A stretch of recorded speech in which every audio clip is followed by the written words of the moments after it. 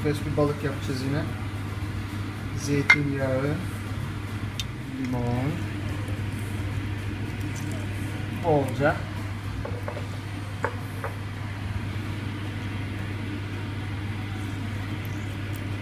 Biber.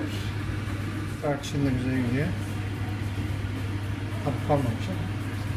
Dibine vuralım gitsin. Sarımsak. Acı biber. Bal. Biraz tatlı olsun. Karıştıralım şunu güzel. Balığımızı marine edeceğiz bunu şimdi. Balığımızı bir güzel bandırıyoruz. Şu tatlardan içini biraz alsın. O. Bunun Etrafına biraz domates.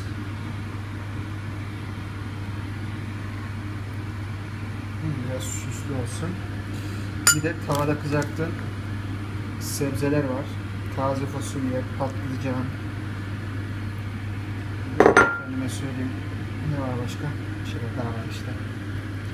Ee, hepsi tatları güzelce içine alsın sosu. Az sonra da patatesleri ekledik mi 10 numara olur. Gibime geliyor. Çünkü bir deneme eninde sonunda. Ben de hiç yapmadım böyle. Patatesleri de ekliyoruz. Ben bunları kesip biraz daha tuzladım. Yoksa tuzu zaten zor alıyorlar içine.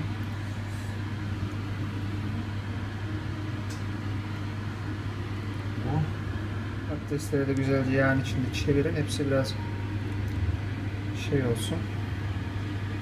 Ee, terbiyelensin. Sonra da fırına sürelim.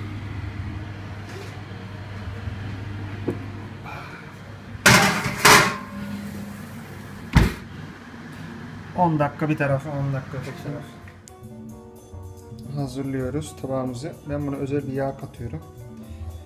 Trüfüllü bir yağ. Acayip kokuyor.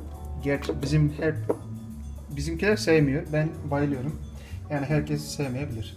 Böyle biraz da tuz, biber. Ondan sonra da az sonra fırından çıkanı üzerine attık mı bence muazzam olacak. 10 dakika bir tarafı, 10 dakika öteki tarafı pişti.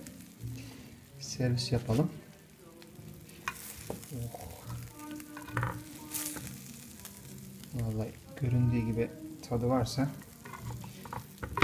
muhteşem olacak.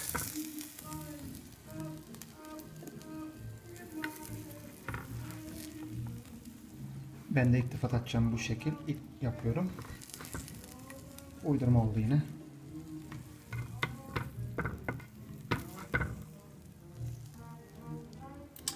Vallahi ben afiyet olsun diyorum kendime. Siz de yaparsanız. Gerçi az sonra bir bakayım nasıl olmuş da ona göre bildiririm ben artık.